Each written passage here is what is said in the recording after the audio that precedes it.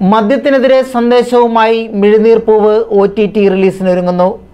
അനുമരിയ ക്രിയേഷൻസിന്റെ ബാനറിൽ ബാബു പാല കലാസംവിധാനം നിർവഹിച്ച ടെലിഫിലിമാണ് മിഴുനീർപ്പൂവ് മദ്യമെന്ന മഹാവിപത്തിലൂടെ തകരുന്ന ഒരു കുടുംബത്തെയും അതിന്റെ ഫലമായി തെരുവിലേക്ക് ഇറങ്ങേണ്ടി വന്ന പിഞ്ചു ബാലികയുടെയും കഥയാണ് മിഴുനീർ പൂവുകൾ ദൃശ്യാവിഷ്കാരം ചെയ്തിരിക്കുന്നത്. സി ഡി പ്രകാശനകർമ്മം പാല ബിഷപ്സ് ഹൗസിൽ വെച്ച് രൂപതാ സഹായമെത്രാൻ മാർ ജേക്കബ് മുരിക്കൻ പിതാവ് നിർവഹിച്ചു.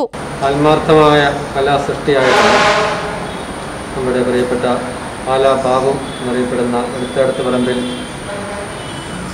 ബാബു നമ്മുടെ കൂടെയുള്ള ഈ സഹോദരന് പരിശുദ്ധ അമ്മയുടെ വലിയൊരു ഭക്തനാണ്. അമലാൽപ്പ മാതാവിന്റെ ഭക്തനാണ്. കലാകാർക്കെല്ലാം അറിയാം. നമ്മുടെ ജൂബിലി തിരുനാളോടനുബന്ധിച്ചുള്ള ടാബ്ലോ മത്സരത്തിൽ എല്ലാ വർഷവും ആ ടാബ്ലോയിൽ ഒന്നാം സമ്മാനം വാങ്ങുന്ന വ്യക്തിയാണ്. അതിലുപരി ആ ടാബ്ലോ മത്സരം പരിശുദ്ധ അമ്മയ്ക്ക് സമർപ്പിച്ച് ഒരിക്കലും അത് നിന്ന് പോകരുത്. കൊറോണ വന്നുകൊണ്ട് നമുക്കൊന്നും ചെയ്യാൻ പറ്റിയില്ല.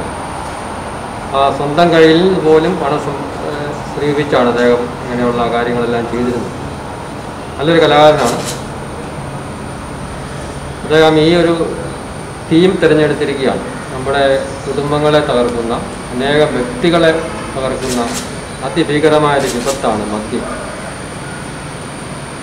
അപ്പം ആ ഒരു സാഹചര്യമെല്ലാം കണ്ടറിഞ്ഞ് ഇത് ശരിക്കും അനുഭവിച്ച് ഈ വിപത്തിനെപ്പറ്റി നല്ല ബോധ്യം വന്ന് കണ്ട് ബോധ്യപ്പെട്ട് അനുഭവിച്ച് മറ്റനേകരിലൂടെ അത് മനസ്സിലാക്കിയിട്ട് എനിക്ക് ഇക്കാര്യത്തിൽ എന്തെങ്കിലും ചെയ്യണം. എന്റെ കലാപരമായ സിദ്ധി ഉപയോഗിച്ച് ഈ തിന്മയ്ക്കെതിരായിട്ടൊന്ന് പോരാടണം.